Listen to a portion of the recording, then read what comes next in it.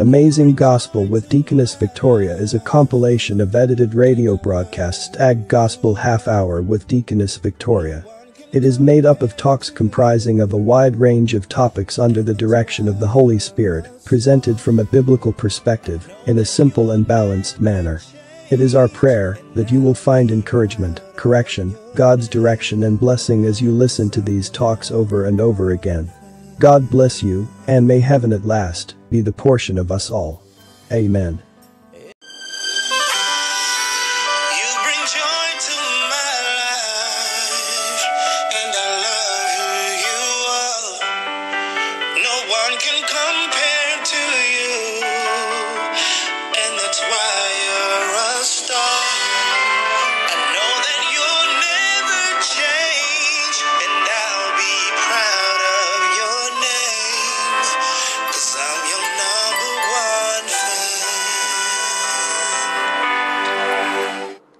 Greetings in Jesus' precious name. This is Gospel Half Hour with Deaconess Victoria. Thank you for joining me. Please let us pray. Our Father and our God, we worship you this day. Thank you because you have made us in your own image and you have loved us so much that you gave your Son to die for us on the cross of Calvary. And so we come into your presence by that precious blood of the Lamb. We receive forgiveness for our sins. We receive help to live holy and godly and power to conquer the world, sin, and Satan. Thank you for the promise of eternal life. Cause us, O Lord God, to see your face, to make heaven at last. In Jesus' name we pray. Amen. Hallelujah. By the grace of God, we shall continue with our talk dealing with sexual immorality, part 2. Please let me read from Proverbs chapter 5. So let me read from verse 1, and it says, My son, pay attention to my wisdom, listen well to my words of insight, that you may maintain discretion and your lips may preserve knowledge. For the lips of an adulteress drip honey, and her speech is smoother than oil. But in the end, she is bitter as gall, sharp as a double edged sword. Her feet go down to death. Her steps lead straight to the grave. She gives no thought to the way of life. Her paths are crooked, but she knows it not. Now then, my sons, listen to me. Do not turn aside from what I say. Keep to a path far from her. Do not go near the door of her house, lest you give your best strength to others and your years to one who is cruel. Lest strangers feast on your wealth and your toil enrich another man's house. 11. At the end of your life, you will groan when your flesh and body are spent. 12. You will say, How I hated discipline, how my heart spurned correction. I will not obey my teachers or listen to my instructors. I have come to the brink of utter ruin in the midst of the whole assembly. 15. Drink water from your own cistern, running water from your own well. Should your springs overflow in the streets, your streams of water in the public squares, let them be yours alone, never to be shared with, strangers. He's talking about keeping to your wife. That's what it means. Do not let your springs overflow in the streets. It's talking to the man mainly, not to go about throwing his springs in the streets, if you know what I mean. 17. Let your wife be yours alone, never to be shared with strangers. May your fountain be blessed, and may you rejoice in the wife of your youth. A loving doe, a graceful deer. May her breasts satisfy you always. May you ever be captivated by her love. Why be captivated, my son, by an adulteress? Why embrace the bosom of another man's wife? For a man's ways are in full view of the Lord, and he examines all his paths. The evil deeds of a wicked man ensnare him, the cords of his sin hold him fast. That means that immorality can be addictive.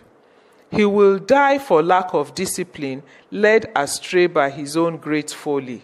Praise the Lord. So, there we have read the whole chapter. Hallelujah. You see, it is not only physical traits we inherit from our parents, but we inherit character and spiritual traits as well. And that is why Jeremiah 31, verse 29 says that the fathers have eaten sour grapes and the children's teeth are set on edge. For example, polygamy often tends to run in families. Having children outside of wedlock often tends to run in families. Sexual immorality and things like that often tend to run in families. But thank God because in the New Testament, as a result of the death of Jesus Christ, that law is broken in the believer in Christ Jesus, and his duty is to enforce it so that sins are not repeated or negative traits are not repeated in his life. Let me give you an innocuous example of what I mean. Years ago, I had a friend who gave birth to a set of twin boys. And one day, whilst they were still under six weeks of age, for some reason they could not sleep at night. She tried all her best to get them to sleep, but no way, these twins would not sleep. So, in frustration, she laid them against her thighs in a kneeling position so that she could at least reach them and be petting them while she lay on her back. Meaning to say that their lower bodies, their knees, legs were on the bed, and then their chests were resting on her thighs. And as she placed them in that position, guess what? All of a sudden, they slept off. And then she said to me, like father, like son, that their father had the habit of falling asleep on his knees while praying at night for as long as she had known him. Hmm, that was quite interesting to me. And in like manner, you find out that sometimes children who thumb suck tend to have parents who did the same as well. And this is the basis for inherited diseases in medicine. Often we hear doctors talking about inherited genetic diseases or traits in a family. The father is hypertensive, the grandfather was hypertensive, the children become hypertensive, or you find diabetes running in a family or some other illness like that. Now, when it comes to spiritual things, that is why, as fathers and mothers, we should be concerned about the legacy we are leaving for our children. King David in the Bible definitely had a love for women in his carnal nature, but because of his walk with God, he kept it to a large extent under control. But unfortunately, at a time when he was careless, because the Bible says to watch and pray, he fell into what was probably the most wicked sin of his life. When we read the Bible in 2 Samuel 11 and 12, we find the story of his sin with Bathsheba, who was another man's wife, the wife to one of his soldiers. The Bible opens the story by saying, At a time when kings went out to war during spring, David decided to stay back at home. And it was during this time that he fell into this sin of adultery with Bathsheba. He decided to stay at home and laze about. Interestingly, warfare is a type of prayer or symbolic of prayer in the Bible and Christians are kings as well and priests unto God. And so we should not be careless in the place of prayer, but we should watch and pray. Bible says, lest him who thinks he stands falls to sin. Well, God forgave him, but still in his divine judgment there were consequences. God personally cursed David for this sin he committed. Because not only did he commit adultery with Bathsheba, but he also killed the husband in order to cover his sin. And God personally cursed David for this sin. And one of the things God said was that the sword will never depart from the house of David. The house of David included Israel as a whole because he was king and father of the nation. And like many of us are aware of, Israel has had a bloody history till date. How many people today, I wonder, are suffering from the sin of their parents or the sins of their leaders, as well as repeating the sin of their parents because the root has not been dealt with? Sexual immorality is that sin that cuts across the body, mind, and spirit. It is the quickest way by which evil spirits gain admittance into the lives of the participants, even without their knowledge. Bible says that he that is joined to a harlot is one flesh with her. Many are suffering from things they know nothing about. I once read the sad story of a little girl whose father had raped someone in his younger years, and by the time she was 11, she had been raped at least five times. If you notice an evil tendency in your life, please fight it and break it.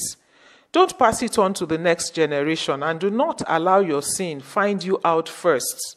1 Corinthians 11:31 says for if we will judge ourselves we will not be judged. When the sin of David judged him many people died as a consequence of his sin and indeed many are still dying today. When Samson's sin of sexual immorality judged him he lost his eyes, he lost his ministry, he lost his honor and dignity and he lost his life. Too many children have suffered for the sins of their parents. Too many have died prematurely because of the sins of their parents. When the devil wants to destroy people, he makes them too busy for prayers and the word of God. Let me encourage you. Please organize your schedule around God. Do not organize God around your schedule or around your life. Let God be the center of your life. Last week we talked about David and his sin with Bathsheba and how he manipulated events to kill Uriah. We talked about the fact that that was the only time we knew when he committed the sin of adultery, but the consequences were grave. However, we also talked about Samson, who was a serial fornicator. Samson did not have a prayer life, he did not have the fear of God. It was his lifestyle to continue in sin. Bible says that a man who knows God does not easily continue in sin because the spirit of God dwells in him. However, if we do sin, we should ask of God who forgives all men liberally. When we study the character of David, we notice some godly traits in him as a result of the fact that he had a lifestyle of prayer and worship of God. For example, he had the fear of God. Notice how he did not kill Saul when he had the opportunity to, because he genuinely feared God. In 1 Samuel 24, verse 5, it says, Then David crept up unnoticed and cut off a corner of Saul's robe. Afterward, David was conscience stricken for having cut off a corner of his robe. He said to his men, The Lord forbid that I should do such a thing to my master the Lord's anointed, or lift my hand against him, for he is the anointed of the Lord. If you know the background of the story, Saul had sought him out to come and kill him, and had fallen asleep in a cave whilst looking for David. And here was David with the golden opportunity to kill Saul. But no, he did not. Instead, he just cut off a corner of his robe, just to show that he had the opportunity to do so but did not. And even after cutting off his clothes, he felt conscience stricken. So, David was really a man of prayer. He was a man of worship of God.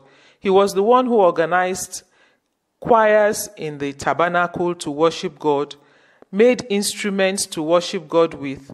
Remember, he was the one who danced before God till his clothes fell from his body when they were bringing the ark of God from the house of Obededom into the city of David. He was called the sweet psalmist of Israel. He was excited about worshiping God. Psalm 122, verse 1 says, I was glad when they said unto me, Let us go into the house of the Lord. This was David speaking. He enjoyed being in God's presence. He danced before the Lord in 2 Samuel 6 14 to 16, like I said, until his outer garment fell off in worship. And his wife, Michal, the daughter of Saul, the previous king before him, despised him because of the way he comported himself as he served before God. And so let me make a side journey here. Some of us are directors, some of us are men of timber and caliber, owners of industries, and big men, so to say, in society. But can we lay all we are down before God to truly worship Him? Or when we are even in church in His presence, we are too big to clap our hands or dance before Him. That is food for thoughts. David was also humble because he repented immediately, notes, when Nathan the prophet confronted him about his sin with Bathsheba. God forgave him, but he was still severely punished for his indiscretion. David had a heart of service. He was a servant king. Even as a shepherd boy, he put himself on the line when a lion or bear attacked his sheep. And remember, he also put himself on the line to fight Goliath in the behalf of Israel, his people. He loved God and he was also self disciplined. In 1 Samuel 18, the Bible says he behaved himself wisely in all his ways, and the Lord was with him under the service of King Saul. I say all this to buttress the fact that as Christians, we should watch and pray. It's not just enough to pray, but watch and pray. Ask God for grace to live on God, to be at the right place at the right time, not to give room to the flesh, but to die daily and take up our cross daily, so that we are not like Samson, who had a weakness with sexual immorality and fell into it repeatedly, who, whenever he entered a new town, all that caught his interest were not the buildings, not the flowers, not the beauty of the city, but women all the time. And that was his undoing. Hallelujah. And so, how do we conquer sexual weakness and immorality? Number one is to flee from temptation. We have read Proverbs 5. Flee from temptation. There we see the wise man Solomon warning against adultery, telling his son to keep only to his wife and not to let his springs overflow in the streets or his streams of water in public squares, but to keep only to his wife and to let her be his alone and be satisfied always with her. Hallelujah. I encourage you to read it again and again. Everyone should read it again and again. But unfortunately, just like David, Solomon fell into the sin of adultery and sexual immorality. And that made him to turn away from God because at some point his flesh became surfeited with the good things of life and he stopped to watch and pray. This was a man who had had an encounter with God twice in his life, but at the end of his life, he began to build temples for the idols of the nations around him because he went after the women of those nations who worshipped idols. So let us be careful. The people we associate with, the people we choose to marry, they should be men and women who fear God and who walk with God. Sexual sin is often attractive. It has a certain charm that invites and allures with seductive and smooth speech. It is also addictive. Proverbs 5:22 Like any appetite, the more we feed sexual sin, the more it grows. The more we commit it, the more we will feel we need it. The easier it will be to do it and the harder it will become to stop. But by the grace of God, we can flee from it like it says in Proverbs 5 7 to 8. Now then, my sons, listen to me. Do not turn aside from what I say. Keep to a path far from her. Do not go near the door of her house. Flee sexual sin. Flee TV programs that have a sexual undertone or pornographic sites on the internet. Things that make you to fall into sexual sin. If you need to, unsubscribe from channels that make you fall into sin. I know someone who permanently cancelled his satellite TV subscription because some of the sights and sounds were a challenge to him keeping his thoughts pure. If need be, change your phone from an Android phone if you cannot control yourself and get a handset. Be careful where you visit. Break up relationships that make you fall into sin. Change jobs if need be because your eternity is at stake here.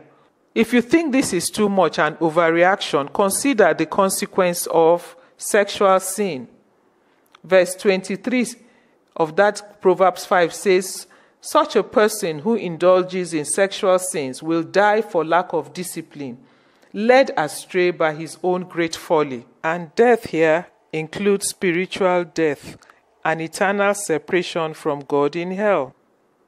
Sexual sin is attractive and addictive. You are controlled by something out of your grasp. It makes you lose your sense of self worth and self respect. Many have struggled with it to a point where they have given up and feel that there is nothing they can do in their power anymore to break free. Yes, there may be nothing you can do in your power, but by the grace of God, when you give your life to Christ, He can give you the power to break free from it. Praise the Lord. Another thing you can do to deal with sexual immorality is to run from wrong association. Nobody corrupts himself without external influence. People start smoking under the influence of friends. Some of us were good until we started associating with certain people. Some did not start sleeping around until they began moving with a certain person or a certain group of people. So break away from that man or woman who entices you into sexual immorality. Break away from that man or woman you are sleeping with outside marriage. Collect the key to your house from them or change your lock if need be. Block them out of your phone. It is better to offend men and yourself than to offend God. David, a man who knew God, offended God, and the world is still paying for it. Abraham disobeyed God, and the world is still bleeding from it today. Control the lusts in your body by the help from the Spirit of God. Romans 8 13 to 14 says, For if you live after the desires of the sinful nature, you shall die. But if you, through the Spirit of God, do mortify or kill the deeds of the body, you shall live. For as many as are led and controlled by the Spirit of God, they are the sons of God. You see, the flesh is not going to heaven, and so it wants to enjoy itself here on earth. The flesh will be buried in the earth after death. It is the soul that will go to heaven or to hell. And so fight the lusts in your flesh daily. And that is the meaning of carrying your cross daily that the Lord Jesus Christ talked about in Matthew 16 24. And that is the meaning of the dying to self daily that Paul talked about in 1 Corinthians 15 31. Praise God. Another way to deal with sexual immorality that may be in us is to consider the future. Remember, you sin against your own body. It is a covenant when you enter into sex with somebody outside of marriage, and indeed, even in marriage. Fornication and adultery is the only sin that cuts across the body, mind, and spirit. When you enter into sexual relationship with somebody, you enter into a covenant with them, and whatever spirits, whatever evil covenant they carry, you become a part of it. And that is why sexual immorality is probably the worst of all sins. It is a serious sin that poisons the whole system. Sexual immorality is a sacrifice that empowers the kingdom of darkness. What it means is that whenever sexual immorality is being committed, demons are readily present to empower themselves. They feed off of that relationship. Bodies or places where sexual immorality is being committed are filled with demons. Since your body becomes the temple of God when you give your life to Christ, it is a must to keep yourself and flee from every form of sexual immorality, including masturbation. If you have involved yourself in such before you repent, please ask Jesus to cleanse you and do not go back to it by his grace. Hallelujah. Number four, dealing with sexual immorality, please mind your mind. That's because the mind plays a very important role in sexual perversion. Often you start it in the mind before you perform it in the body. To battle the mind problem, please memorize many scriptures and continually think on the Word of God and speak it out loud over yourself to break the hold of that negative mindset. 1 John 2:14 says, You have overcome the wicked one. Psalm 1 from verse 1 says, Blessed in the man who walks not in the counsel of the ungodly, nor stands in the path of sinners, nor sits in the seat of the scornful, but his delight is in the law of the Lord, and in his law he meditates day and night. Psalm 119, verse 11 says, Your word have I hidden in my heart, that I might not sin against you. Stockpile your thoughts with good things. Philippians 4 8 says, Whatever is good, whatever is pure, whatever is of good report, think on these things. Praise the Lord. Discipline yourself to think on things that are good. Romans 12, verse 2 says, And do not be conformed to this world, but be transformed by the renewing of your mind, that you may prove what is that good and acceptable and perfect will of God. So, meditate on God's word. Another thing is speak the word of God over yourself often every day. Say things like, My body is the temple of God. I treat the older women as mothers, the younger women as sisters with all purity, as I would my sisters. That is 1 Timothy 5 2.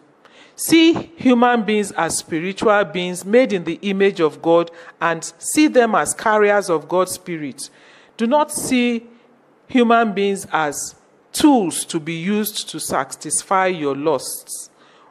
If you're a man, when you see a woman, just like Job 31 1, covenant with your eyes not to look lustfully at a woman. Because I know a man is moved by the things he sees. Train yourself not to cast a second look. If you must talk to a woman, look at her face.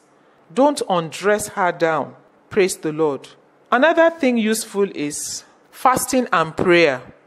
Devils are responsible for sins and addictions. Sometimes there are foundational curses and covenants that promote and propagate negative patterns in people's lives and in families. And to cast out devils, you need to generate power by fasting and prayer. Remember the Lord Jesus Christ, in reference to a devil, when the disciples asked him, Why could not we cast it out? said, This type goeth not out, but by fasting and prayer. If you fast for one day, it doesn't go. Fast for three days. And you can fast without food, only water, for up to even 40 days, like the Lord Jesus Christ did. Hallelujah. But I will not encourage you to do that at the beginning. You can build up your stamina, build up yourself first. Fast for a day until evening, 6 or 9 p.m. before breaking. Then you can fast for three days, break every evening. And then you can now try fasting three days without food, only water. And then you can try seven days. That devil will go in Jesus' name.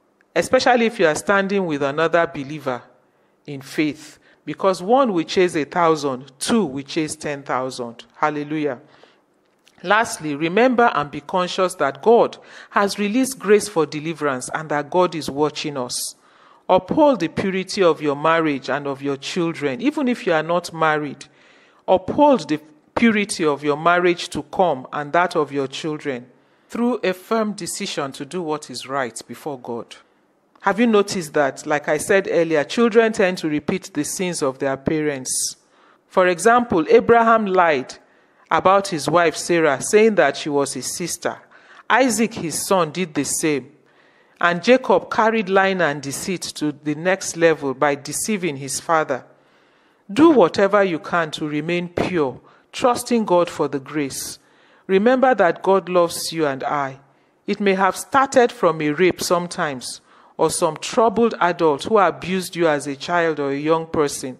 And then because of that, you find yourself falling continually into the sin of immorality. But now you are grown up and an adult. You are responsible for your own actions. Romans 14:12 says, "So then each of us will give an account of himself to God." Forgive the person who may have abused you as a child because without that you cannot move forward. And you need to forgive them so that you can be free. Also John 1:12 says, as many as received Jesus Christ, to them gave he power to become the sons of God, even to them that believe on his name. Also, the Bible says, if any man be in Christ, is a new creature. All things have passed away, all things have become new. Hallelujah. We are not to serve the devil with our flesh, with our body. but to serve God who has made us in his own image. And this may not be easy in your own self, but with the Spirit of God inside of you, you can do all things through Christ who strengthens you. And so I want to encourage you to please give your life to Christ and trust Him to break these shackles off your life because I know many are tired of it and want to break free. So let us pray. Pray after me and say, Almighty God, I come to you today in the name of Jesus Christ. Forgive me of all my sins, and in particular, forgive the sin of immorality.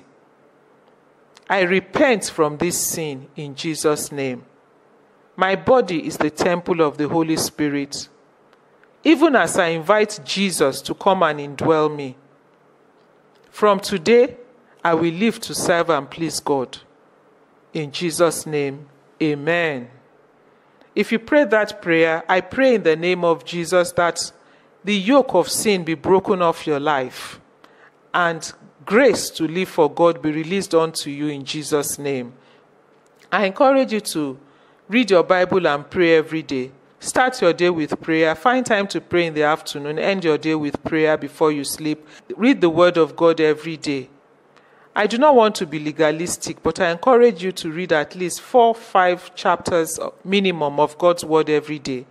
And you can start reading from the book of Matthew. Ensure that you memorize scriptures and think on them as you go through the day. Please get a Christian devotional booklet for your daily prayers, like our daily bread, our daily manna, seeds of destiny, open heavens, daily fountain, and so on. There are so many out there, and you can download one or two online for your use. Join a godly Bible believing church and please be a worker there. And if you have any questions, I encourage you to please write me at deaconessvictoria at gmail.com and you can tune to our YouTube channel to listen to more messages. Gospel Half Hour with Deaconess Victoria. God bless you. The Lord God keep us all in purity and holiness so that we will see his face someday. In Jesus' name, amen.